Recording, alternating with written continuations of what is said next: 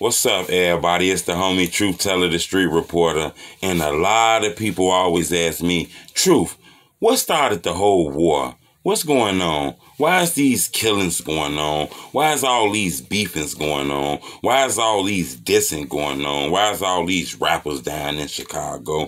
What is like the war? What started this? I didn't hear plenty of blogs I didn't drop before telling you. You know, I kind of think the war started a long time ago. As I said in the blog previously, I believe a lot of this shit started like in the 70s, but a lot of people tend to pinpoint like the 90s or like the ending of the 80s. You know, the war always been here. You ask people, some people say locking up the gang members, the gangs not having no structures, tearing down the projects, putting people in those communities, you know, who was about that money shit. I think all that is the honest truth. I get this, the city of Al Capone, it always been crooked. Things is a little weird out here. I understand that, but a lot of people be speaking as far as like with the young people. Why the young people so crazy? Why they so wild? I see it, I hear it. Um, but it's hard to kind of speak on that because it's so many things, and I don't want to mislead nobody by telling them one thing. So today I am going to tell you about one thing, though. You know, I speak with a lot of people. I've been doing this blog shit for a while. I'm like a drill historian, you know. So I be talking to people on camera and off camera. I actually get an opportunity to interview people off camera more than I do on camera. People tell me what's plaguing their communities, the things that's going on in their neighborhoods, the wars, the beef, the killings. And I'm gonna tell you the one thing that's always have a parallel, the one thing that's always similar, the one thing that I hear from a lot of people. And I want to tell you guys this. I don't think it was one thing that started the war. I think a lot of those things were here. I think a lot of people was beefing with each other, especially like the BDK GDK war. That's what a lot of people always ask me about. And to be honest with you, I tell people that shit been here for a long time. Backdooring people, setting each other up. You know, those two cliques had wars going on way before the internet knew about it.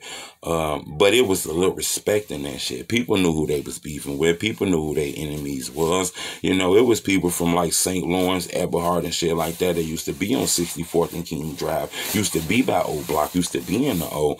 And there's people who used to be in the O who used to be on 64th, who used to be on Eberhart. I done spoke with a lot of people who told me King Von used to be down there. He used to hang with a lot of those guys and shit down there. You seen Fat Shawty talk about him getting in a fight with Joey and things like that. Uh, you can clearly hear Ocho saying FBG Duck used to be in the O, him and Tooka and shit like that. You know, we hearing a lot of interviews, a lot of people say these guys are relatives, people know each other and shit like that. So, you know, uh, when I hear the BDK GDK war, a lot of people don't understand that it always been like one of those wars, but it was respect. People knew who they was beefing with, like I just said. I think what took this shit over the top, and a lot of people I speak with has told me this was the internet. You know, the internet is what plagued the communities and took these wars to a level that made it where every community missing like 10, 11, 12 people, especially in the rap communities. Every neighborhood has about 10 people who lost their life due to gun violence. And a lot of it is linked to the drill music. Not to diss the drill music because it is street shit, but this rap shit is street shit. You know, you call them rappers, but a lot of these guys are street people. You know, they just happen to rap, you know. So I just don't think people understand that. It always been issues in those communities, but I think once it hit the internet, it took that shit all the way up here to a level. It was different when you had one instigator. Oh,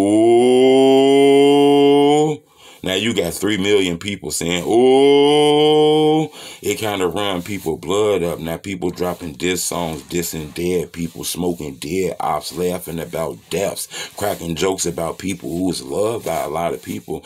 I think that did raise the anger up. You know, like I say, I can't pinpoint it to just that, but it is a lot of things. You know, a lot of people tend to put a lot of this shit on the bloggers and shit like that. But you have to understand those jobs like bloggers and shit like that was created through the violence that went on and people wanted to know about it because the news wasn't giving you the full realness you know how you cut on that channel 5 news and that guy sit down and say how you doing my name is tom today and this is the channel 5 news you know that ain't the real way of a news people want to know what's going on in their communities when they open up the door when they walk to the stores when they walk to their kids to school when they going to visit someone they want to make sure they're not in a bad community they want to know what's all them shootings in the hood about. So that developed the blogger industry, you know. the war, the killings developed that, you know, and it's just news that people really want to hear. This is the real world. But I always tell people that I believe like the GD, BDK, I believe that always been here. But I think the internet took it to a level that took it crazy. You know what I'm saying? I do believe it still would be deaths without the internet, but I believe the deaths probably would be right here. You know, I do believe people would still be down. I believe when Instagram, you know, YouTube, and when Chief Keef started blowing up off the music, telling them drill stories and shit, I think shit started getting disrespectful, and it took the murder rate to right here, in my opinion. That's just in my opinion. I could be wrong. But like I say, it ain't just the rap music. It's a lot of other shit too. Like y'all need to raise y'all kids writing some more shit too. But uh, subscribe to my YouTube channel. I appreciate the love. It's the homie Truth Teller, the Street Reporter. Bleh, bleh, bleh, bleh.